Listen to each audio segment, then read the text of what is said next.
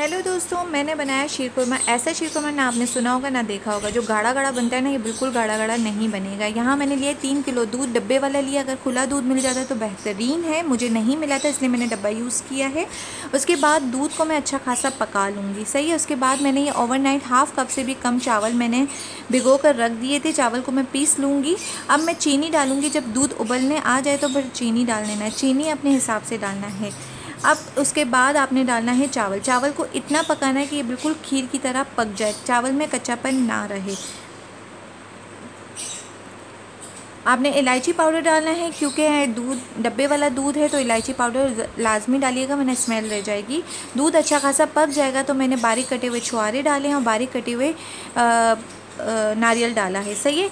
अब ये इन दोनों को भी पकाना है ताकि इन दोनों का कच्चापन दूर हो जाए। ये बिल्कुल पक जाएँगे तो उसके बाद आपने एंड में तड़का लगाना है। सेवैयाँ तीन चम्मच मैंने लिए हैं, बादाम पिस्ते लिए हैं और ये देसी घी है। इसमें हल्का सा सोटे करके और फिर इसमें डाल दूँगी। याद रहे कि दूध गाढ़ा नहीं होना चाहिए, थोड़ा सा लिक्विड ही होना चाहिए। ठंडा करके पिए बहुत मज़े का लगता है। ज़रूर ट्राई करिएगा।